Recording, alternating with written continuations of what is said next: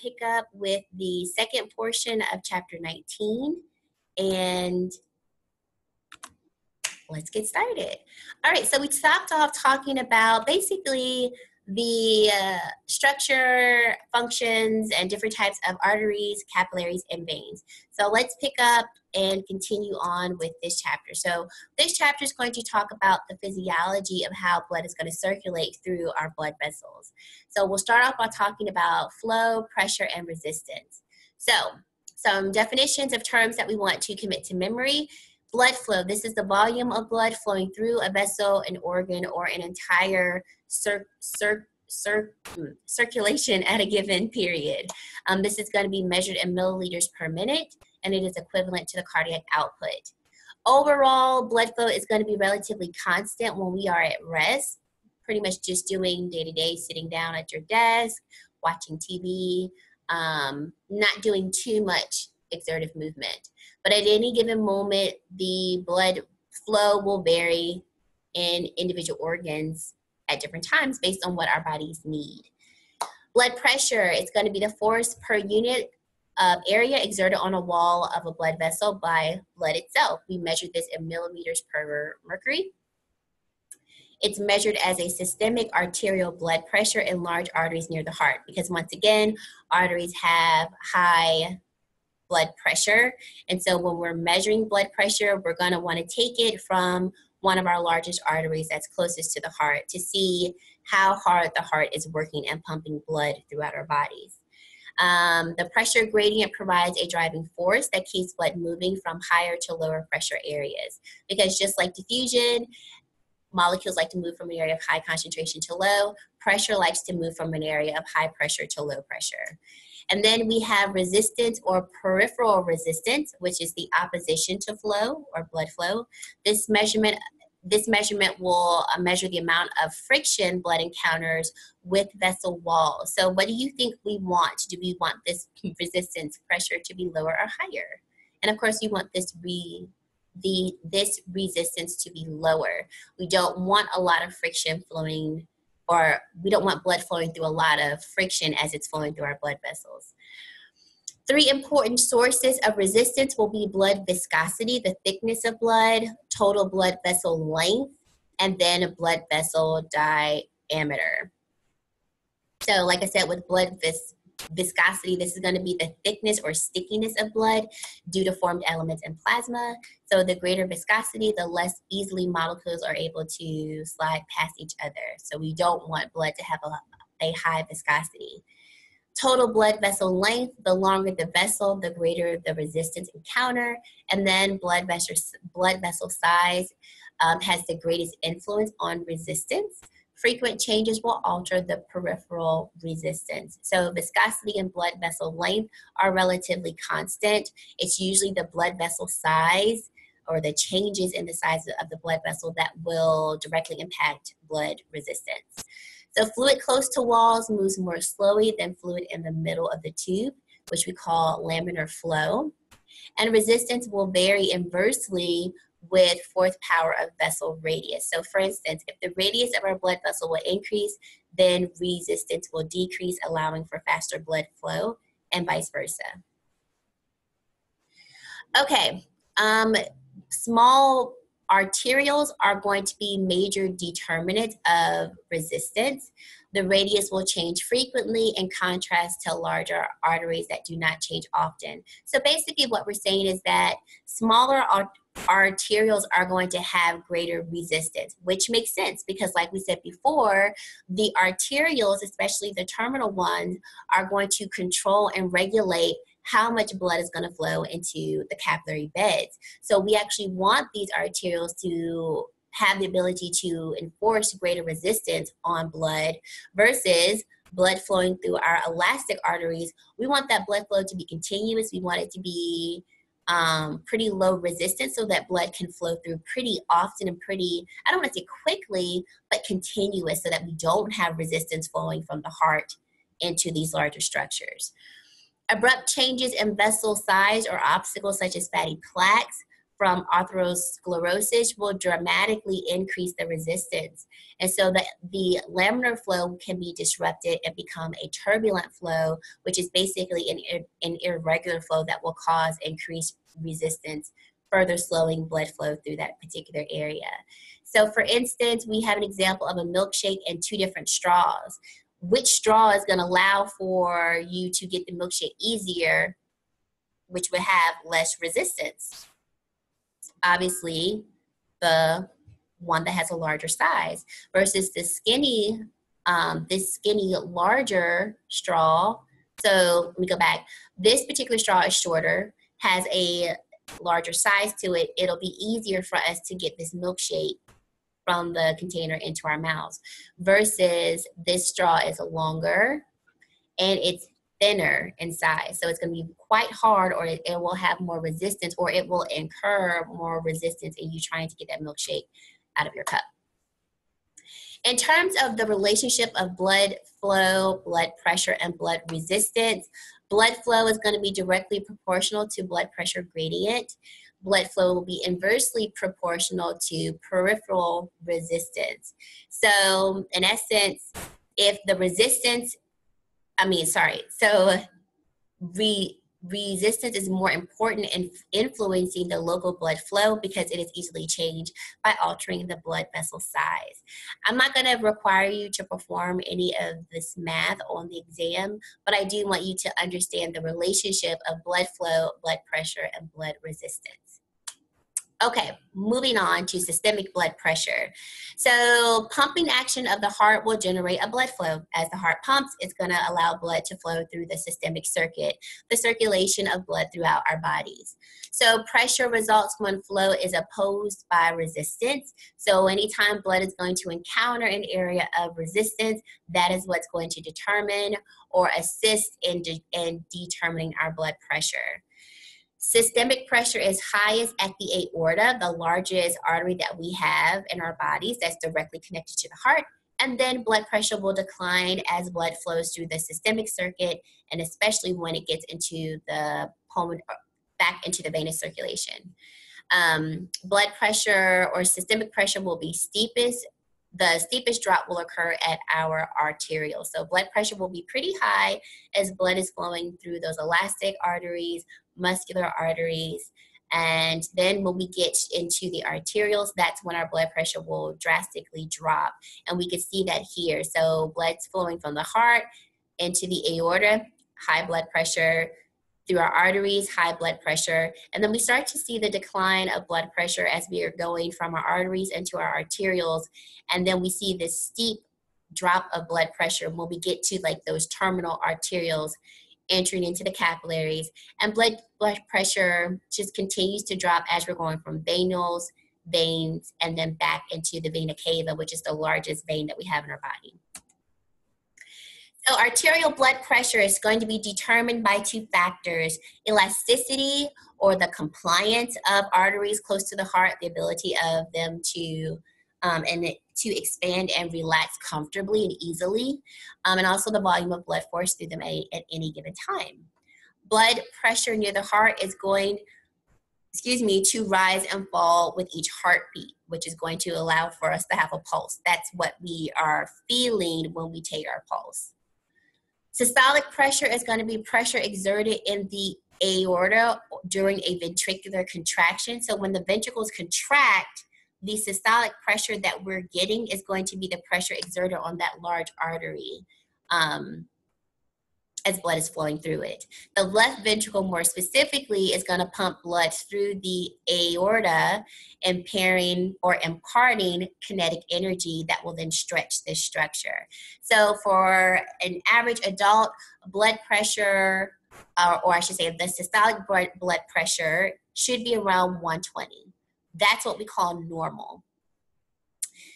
Um, di- di- diastolic pressure, excuse me, is going to be the lowest level of pressure through the a- aorta when the heart is at rest. Uh, pulse pressure will that is going to be the difference between the contraction and relaxation that occurs in the heart. And our pulse is going to be the throbbing of arteries due to a difference in pulse pressures, which can be felt under the skin. So the mean arterial pressure or MAP is going to be a pressure that propels blood to tissues and the pulse pressure phases out near the end of the arterial tree.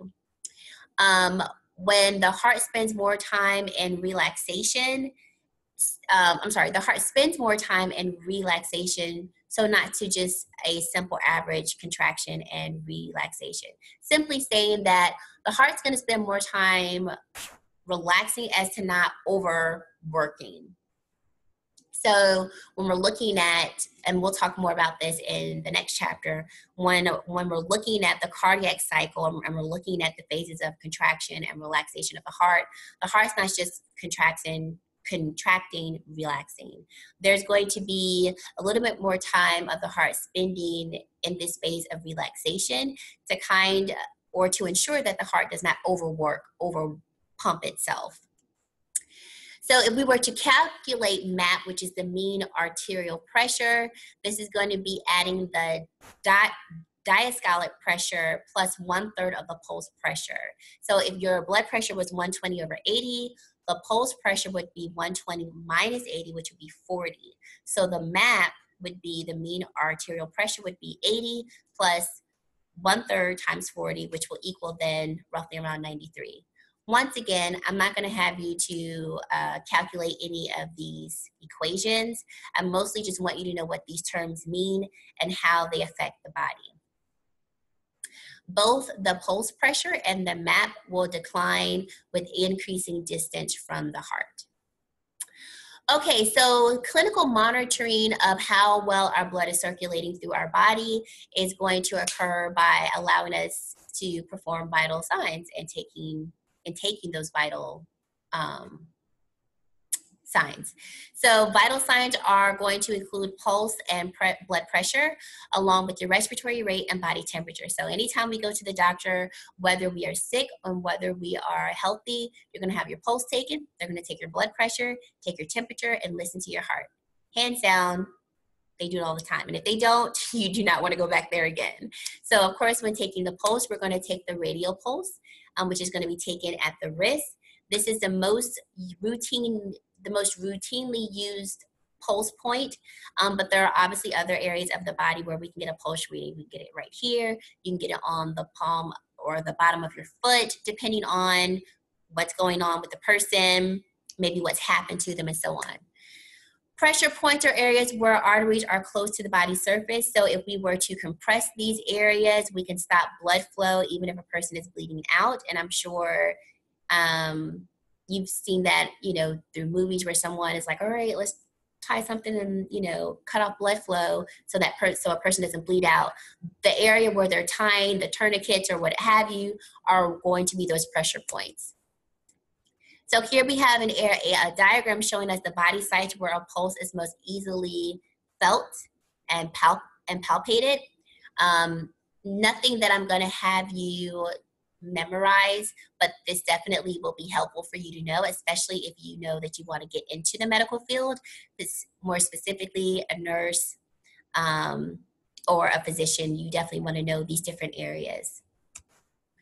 So, in terms of measuring blood pressure, the systemic arterial blood pressure is measured indirectly by auscultating methods um, using a sphygmomanometer say that three times really fast. So what are we doing here? We're gonna wrap a cuff around the arm superior to the elbow. So wrap a cuff around here. Increase pressure in the cuff until it until it exceeds the systolic pressure in the brachial artery, which is going to be the artery that we have here. And then pressure is slowly released and the examiner listens for sounds of um, the heart beating through a stethoscope. So essentially, the systolic pressure normally is going to be less than 120. We don't want it to exceed 120 because then that that could be a sign that the heart is beating too it's over it's being overworked. Um, so the systolic pressure is going to be the pressure when after as you're listening to um, or you're listening through this through the stethoscope, it's going to be the pressure when sounds first occur as blood starts to spurt through the artery. So you pump the cuff with air, and then you slowly will release the air, and that first sound that you hear is going to be the systolic pressure. So whatever the reading is when you hear the first sound, that's how that will be your systolic pressure. The diastolic pressure is going to be normally less than 80 or at 80 or less. This is that second sound, or I'm sorry, when that is the pressure when sound disappears because the artery is no longer constricted and blood is flowing freely. So as you're listening through the, the stethoscope, the first sound that you hear is the systolic pressure. Diastolic pressure will then be when you don't hear any sound at all because blood is flowing through that artery and it's not constricted anymore. When taking blood pressure and understanding blood pressure, what's most concerning when blood pressures are higher it's more so that diastolic pressure because that diastolic pressure is going to be more de- more directly related to how hard that left ventricle is working. And we'll talk about it a little bit more when we get to chapter 20, but we do not want the diastolic pressure to be so high because that directly implies that our left ventricle is pumping too hard. And of course, if our if our heart is being overworked, it can wear out quickly. So obviously, when you're taking someone's blood pressure or when the doctor says, you know, your blood pressure is too high, we might need to put you on a medication, what they're saying is that your heart is overworking due to some situation or some issue. And the longer we allow for your heart to overwork, the more um, this is going to be harmful to you because the heart is a muscle. If it overworks, it could eventually stop working, which is what we don't want to happen. In terms of your capillary blood pressure, I'm not going to spend too much time on this, but this ranges from 35 at the beginning of the capillary bed to about 17 at the end of the capillary bed. The low capillary pressure is desirable because high blood pressure would rupture the very delicate structures of the capillaries. So, because these capillaries are so thin, we want a lower blood flow or blood pressure through the area. And then also, low pressure allows um, or will force the filtrate into the interstitial spaces. So this will then give the um, substances in blood time to diffuse into our tissues.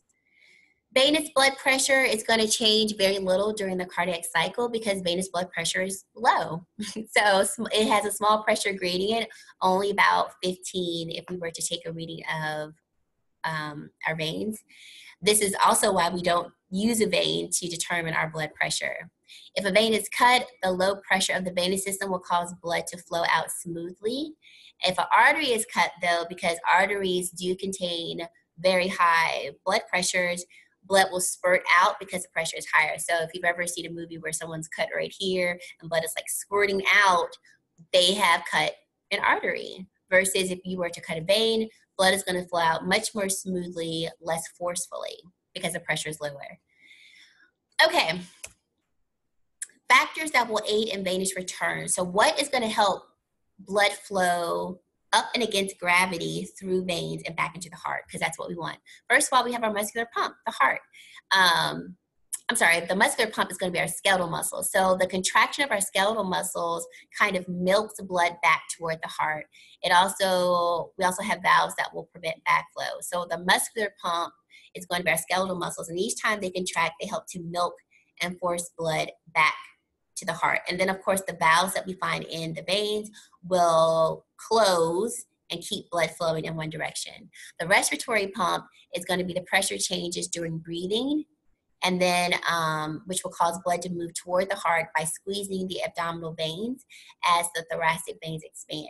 So as we inhale with every breath that we take and we inhale, that's going to move blood to the heart because we'll squeeze our abdominal veins as the thoracic veins expand. So we take an inhale, abdominal veins will then squeeze, thoracic veins open up, and that helps to propel blood back to the heart. And then we have the sympathetic vasoconstriction. So whenever the sympathetic nervous system is under control, um, it will allow for smooth muscles to constrict, which will then push blood back to the heart. So here we, we have an example of our muscular pump working. So as skeletal muscles contract, that will then put pressure on the valve and push blood up. So as the part of the vein contracts, that then propels blood back to the heart. Okay, so regulation of blood pressure. How do we maintain blood pressure within our bodies? So, maintaining blood pressure requires cooperation of the heart, blood vessels, and our kidneys. And we'll talk more about the kidneys when we get to that particular system, but we'll start addressing it here. So, all of these structures are going to be supervised by the heart, by the brain. So, the brain is going to supervise and monitor blood pressure to the heart or through the heart, the blood vessels, and the kidneys. Three main factors that are going to be involved in regulating blood pressure will be our cardiac output, which we will talk about more in chapter 20, the peripheral resistance, and then blood volume. Blood pressure will vary directly with the cardiac output, blood resistance, I mean, blood volume, and peripheral resistance. Okay, so remember, if we're going back to all these calculations, that essentially whenever we have a change in the peripheral resistance, that's going to directly determine and affect our blood pressure. That's I'm summing up this slide here. So um, anything that will increase the uh, stroke volume. So remember, we talked about this a little bit before. Car- cardiac output is going to be calculated by the stroke volume plus the heart rate. So if the mean arterial pressure is equivalent to the cardiac output and resistance, then the mean arterial pressure is, is equivalent to stroke volume times heart rate times resistance. So anything that will increase the stroke volume, the amount of blood flowing through the ventricles or pumped by the ventricles, anything that will increase the heart rate, or anything that will increase the resistance will also increase the mean arterial pressure, which makes sense. Um, the stroke volume is going to be affected by the venous return. The heart rate will be maintained by the medullary centers of our brain. And then resistance is affected mostly by vessel diameter. So factors that can affect our blood pressure can be short-term. And what we mean by short-term, meaning that, for instance, if I decide to run, um, of course, if I'm running and I'm running for an extended period of time, my blood is going to my my blood vessels will dilate so more blood can flow through so that i can um, continue to run. Um, so that would be an example of a short-term control mechanism and that will be controlled by the nervous system our brain brain and spinal cord. Another example of a short-term one could be hormones and then in terms of long-term maintenance of our blood pressure that's going to be controlled by the kidneys or renal controls Here's a diagram just showing us the major factors that will increase our mean arterial pressure or our MAP. So stroke volume and heart rate are going to be directly involved in cardiac output, which will then affect and increase the mean arterial pressure. And then the total peripheral resistance is going to be affected by um, decreasing the diameter of our blood vessels increasing blood viscosity or increasing blood vessel length. And of course, cardiac output or changes in the cardiac output times changes in the resistance are all going to affect an increase and change the mean arterial pressure. So I'm not going to go through in detail of the regulations of each one of these controls. Um, I will just kind of run through them because I'm not going to test you in detail on these sections, but just to give you a little bit more information about them, um, I'll just summarize them real quick. So with the neural controls, there's two main neural mechanisms, mechanisms that will control the resistance. So we have the mean arterial pressure is going to be maintained by altering blood vessel diameter. And then we can also alter blood distribution to organs. So some neural controls that will operate through a reflex arc involves in the cardiovascular centers of the medulla, baroreceptors. Remember, these are receptors that are going to determine pressure changes in the body, more specifically blood pressure changes in the body. Chemoreceptors are going to de- are going to detect chemical changes that would occur in our um, bodies that would affect blood pressure, and then higher brain centers. Okay, like I said, I'm not going to go into each one of these. So if you want to go into them on your own, that's fine. But I simply just want you to know in general, these are the neural controls that are going to assist in having short-term effects on blood pressure. Okay. In terms of hormones, we have the adrenal medullal hormones, so epinephrine and norepinephrine from the adrenal medulla gland will increase the cardiac output and then will increase vasoconstriction so that we can have so that we can accommodate a fight or flight response when needed. Angiotensin 2 will stimulate vasoconstriction, which will then increase resistance um, and have an increase in blood pressure. ADH, remember this is a hormone that is going to, in high amounts, cause vasoconstriction. And then the atrial natriuretic peptides will decrease blood pressure by antagonizing aldosterone. Remember, aldosterone is going to be a hormone that will then increase blood pressure, but ANPs will decrease blood pressure, um, which will also cause a decrease in blood volume. And then in terms of the renal regulation, we'll talk more about this when we get to the urinary system, so we'll just summarize it here. We have baroreceptors that will quickly adapt to chronic high or low blood pressure. Um, so the long-term mechanisms of blood pressure are really going to be by altering blood volumes through the kidneys. And so the kidneys will regulate arterial blood pressure by direct renal mechanisms or an indirect renal mechanism. So directly, we can alter blood volume independently of hormones um, by doing a couple of things. So increased blood pressure or blood volume will cause us to eliminate through urine more, which will help to decrease our blood pressure. Also, and just the reverse, if we have a decrease in blood pressure or blood volume, this will cause kidneys to conserve water so that our blood pressure will rise. So that's an example of how the body will, or how the kidneys will directly control um, blood pressure.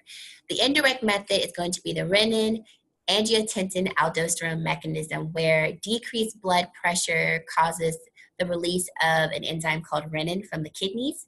Renin will then enter the blood and will catalyze a conversion of angiotens- angiotensinogen from the liver to a component called angiotensin 1.